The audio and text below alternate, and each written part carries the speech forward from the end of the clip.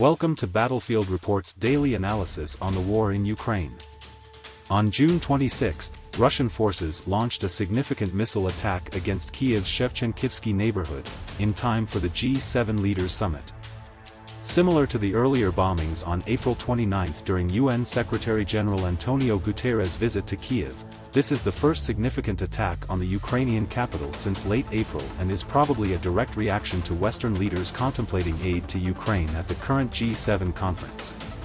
Russian forces reportedly used X-101 missiles fired from Tu-95 and Tu-160 bombers over the Caspian Sea to strike infrastructure in the Shevchenkivsky area. Ukrainian government officials said the Russian operation was an effort to show off their capabilities. The Artem State Joint Stock Holding Company, a producer of air-to-air -air missiles, automated air-guided missile training and maintenance systems, anti-tank guided missiles, and aviation equipment, was the target of the strikes, according to open-source Twitter account GeoConfirm.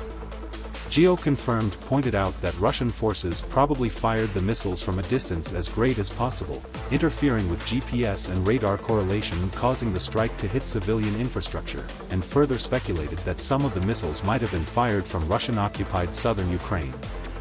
Russian forces probably chose to attack the Artem plant in retaliation for Western military assistance to Ukraine during the G7 conference, and they also caused more collateral damage to residential infrastructure.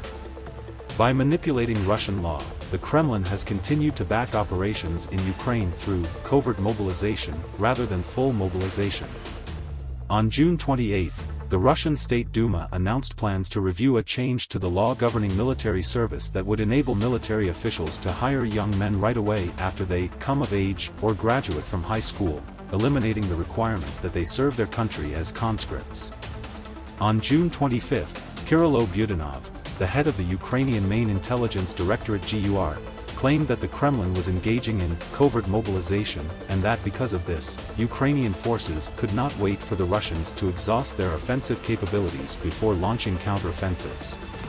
Probably in overall charge of Russian forces in Ukraine is Colonel General Gennady Zhidko, who serves as the director of Russia's military political directorate at the moment.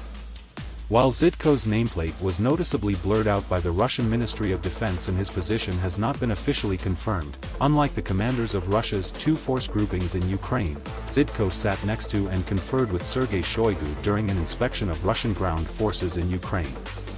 Conflict Intelligence Team had earlier reported on May 26 that Zhidko had replaced commander of the Southern Military District Alexander Dvornikov as the country's top commander. This transition was most likely confirmed by news of Dvornikov's dismissal on June 21 and Zhidko's prominent position during Shoigu's visit on June 26. It has been Battlefield Reports on the war in Ukraine. If you like the content don't forget to subscribe for more daily analyses and footage.